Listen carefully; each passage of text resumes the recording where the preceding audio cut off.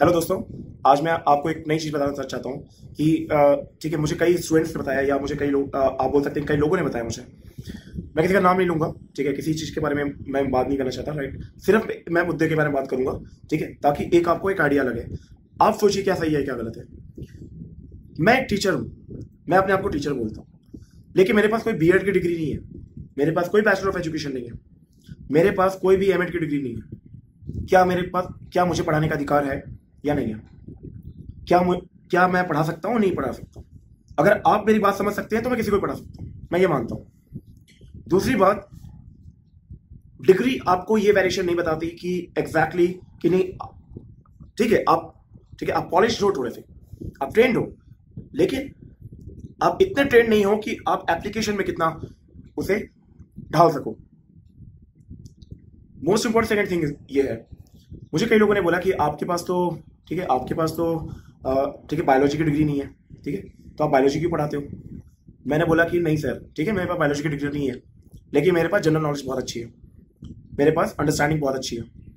मेरे पास ये भी अंडरस्टैंडिंग है कि मुझे किस तरीके से अप्लाई करना है, किस तरह से पढ़ना है। कम से कम कुछ नहीं आता मुझे, कम से कम दो चीज़ तो आती है अच्छी तरीके से।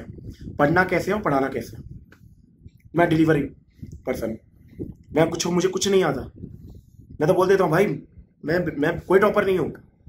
ठीक है? मैं बहुत नॉर्मल इंसान हूँ। मुझे सिर्फ़ इतना आता है कि किसी चीज़ को कैसे पढ़ा जाता है और किस तरीके से पढ़ना चाहिए, वो चीज़ मुझे समझ में आती है कि किस, किसको, किस तरीके से समझना चाहिए और किस तरह से उसके दिमाग में डालनी चाहिए, ताकि वो उस चीज़ को अलग नज़रिए से देखना शुरू करते हैं।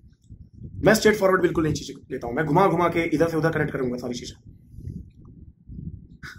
लोग इस चीज़ के पीछे लगे हैं कि आपके पास तो कम, ठीक है आईटी की डिग्री है तो आईटी आप, मैं ये ये तो नहीं पढ़ाते यार, मैंने बोला कि यार प्रॉब्लम ये है कि मुझे, ठीक है, मेरी अंडरस्टैंडिंग कोई ऐसी नहीं है कि मेरे पास कोई डिग्री है, कोई नाम की, ठीक है?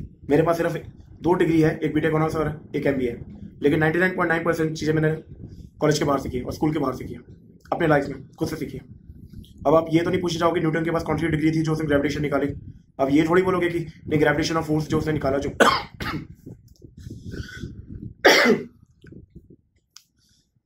अब आप ऐसा तो नहीं बोलोगे कि भैया उसकी बहुत गलत माइंडसेट चल रहा है मार्केट में, मैंने हर जगह देखा है कि अगर आपके पास ठीक है, किसी पर्टिकुलर चीज़ का डिग्री नहीं है तो आप नहीं पढ़ा सकते। आपको नहीं पढ़ाना चाहिए। मैंने बोला कि वो हर इंसान की कैपेबिलिटी के ऊपर डिपेंड करता है। अब जैसे मैं स्टीव जॉब की बात लेता हूँ। स्टीव जॉब के पास तो कोई डिग्री नहीं थी। उस हिसाब से तो उसे ना क्रिएटिव में वर्क करना चाहिए, ना टेक्नोलॉजी में वर्क करना चाहिए। लेकिन आज दुनिया में उसकी सबसे बड़ी कंपनीज़ है। राइट दुनिया में एलन मस्क को आप ले लीजिए। एलन मस्क के पास स्पेस साइंस के नाम पे कोई नहीं डिग्री, फिजिक्स है। स्पेस साइंस और उसने फिजिक्स इकोनॉमिक्स किया आई थिंक लेकिन स्पेस में तो कुछ नहीं किया, लेकिन आज दुनिया का सबसे बड़ा स्पेस एजेंसी है उसके पास। दूसरी चीज़ दूसरी चीज़, बहुत इंपॉर्टेंट उसने कभी ऑटोमोबाइल इंजीनियर पढ़ी नहीं तो फिर वो कैसे लगा सकता है ऑटोमोबाइल फिर भी वो कर रहा है ना, दुनिया का सबसे बेहतरीन कार। आप उसके बारे में क्या बोलेंगे? कि वही वो डिग्री नहीं है तो उसे नहीं करना चाहिए। ये आपके माइंड में बहुत गलत चीज़ है। आपके पास डिग्री नहीं है तो आप नहीं पढ़ सकते हो। पढ़ने का कोई लिमिटेशन नहीं होता। आप जितने बड़े लोगों को देखो दुनिया में, जितने भी थॉटफुल लोगों को देखो, उनके पास उस पर्टिकुलर चीज़ की डिग्री नहीं है, लेकिन उसके बारे में किसी एक्सपर्ट से ज़्यादा जानते हैं किस तरीके से अप्लाई करना है। मोस्ट इंपॉर्टेंट क्या चीज़ आपके लाइफ में? कि आपको सीखना कैसे है, समझना कैसे है अप्लाई कैसे करना है और सिखाना कैसे ये चार चीज़ अगर आपके पास है, ये कैपेबिलिटी बस चाहिए। बाकी इंफॉर्मेशन कोई बड़ी चीज़ नहीं है इंफॉर्मेशन आप स्टोर रख दो, ठीक है? जैसे इस लाइक हार्ड डिस्क ठीक? है लेकिन आपको पता होना चाहिए हार्ड डिस्क को रिट्राइव कैसे करना है, किस टाइम ओके किस चीज़ को रिट्राइव करना है और कहाँ यूज़ करना है। That is call the skill ठीक है? तो मैं हमेशा बोलता हूँ कि स्किल के ऊपर आप अगर फोकस रहेगा आपका, ठीक है? और स्किल ऐसी नहीं है कि आपको किसी बुक में सॉरी आप बुक में रटोगे तो आपको समझ में आ जाएगी, आप एग्ज़ाम दे दोगे, समझ में आ जाएगी। नहीं स्किल वैसे नहीं होता। स्किल का मतलब होता है कि आप अपने को उस चीज़ के अंदर रियल सिचुएशन के अंदर डालो और जो भी सिचुएशन आ रही है, उससे उसे भागो मत, उसे फाइट करो। उसमें ट्राई करो नई चीज़ सीखने का। कोशिश करो, कोई बात नहीं, हारोगे दस बार, सौ बार हार में कोई दिक्कत नहीं। हार नहीं माननी।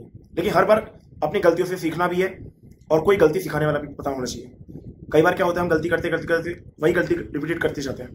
लेकिन हमें कोई बताने वाला होता नहीं है एक्चुअल में राइट तो ये चीज़ हमें बहुत ज़्यादा इंपॉर्टेंट है कि मेंटर्स का रोल बहुत ज़्यादा बढ़ जाता है। यहाँ मेंटर्स आपको ये चीज़ ऑब्ज़र्व करते हैं पैटर्न्स के अंदर कि ये कहाँ कहाँ दिक्कत आ सकती है। और वही दिक्कत पे हिट मारना चाहिए। ठीक? है ताकि वो प्रॉब्लम सॉल्व हो जाए। अगर आप, ठीक है ठीक है, जहाँ प्रॉब्लम है, वहाँ वहाँ सॉल्व नहीं करेंगे तो आप ज़िंदगी में प्रॉब्लम को ही लेके घूमते रहेंगे। तो मोस्ट इंपॉर्टेंट क्या है? अगर मान लो कि यार मुझे टांग में दर्द है तो यार मेरे सिर का इलाज तो नहीं करोगे ना? अगर मैं टांग का दर्द है तो सिर का इलाज नहीं करोगे? हो सकता है कुछ लोग ऐसा भी लॉजिक लगा रहे हैं कि आपके सिर में सोचने की वजह से आपके टांग में दर्द है। कुछ महान लोग होते हैं कुछ कुछ ठीक है? तो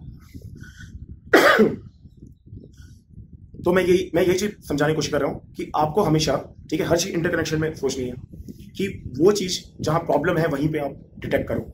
लेकिन सारी चीज़ों को साथ में लेके चलो और कंसर्न रहो कि कभी भी, ठीक है, कहीं और प्रॉब्लम आ सकती है। तो उसके लिए भी तैयार रहना।